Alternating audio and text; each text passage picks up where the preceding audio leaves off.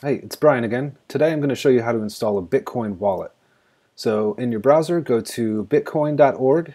That'll land you on the home page. Click the Get Started with Bitcoin, and then click the Choose Your Wallet button. Uh, we'll go ahead and just install the Bitcoin Core wallet.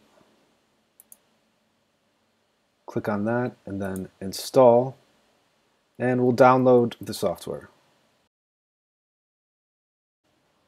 Alright, now that the package is downloaded, we'll go ahead and open it. Drag Bitcoin Core to Applications.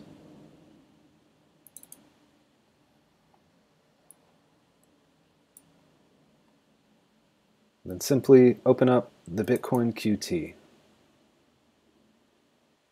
It's okay to open it. We know we trusted or downloaded it from a trusted source. Now, reading this welcome message, you'll notice that you need a whole bunch of space in order to use this wallet. Um, if that's not feasible for you, there are some other solutions that um, allow you to still have your own wallet without downloading all of that data. Uh, I'll be covering, covering some of those in future videos, but for now, if you have the space, let's go ahead and do this. Choose the location that you want the data stored to. Um, the default directory is fine. I'm going to go ahead and change mine real quick. Click OK. All right, now here's where the hurry up and wait happens. You're going to have to let your wallet sync with the general network, and that can definitely take some serious time. So we'll come back once this is finished, and I'll tell you how to send and receive using your new wallet. The blockchain is still downloading for me. Um, and it's definitely not good uh, to try to make transactions before that's finished, but I'm going to go ahead and show you how to make a transaction if there was a transaction to do.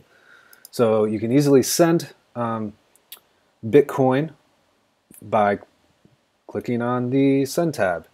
Um, you put the Bitcoin address in here, an optional label, and the amount. Uh, send it, and that will take effect.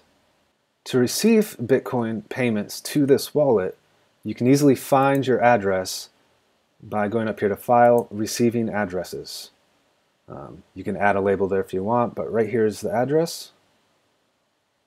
And you can give that address to people, and they'll be able to send you Bitcoin. It really is that simple, guys. All right, thanks for watching. Let me know if you have any questions in the comments. Bye.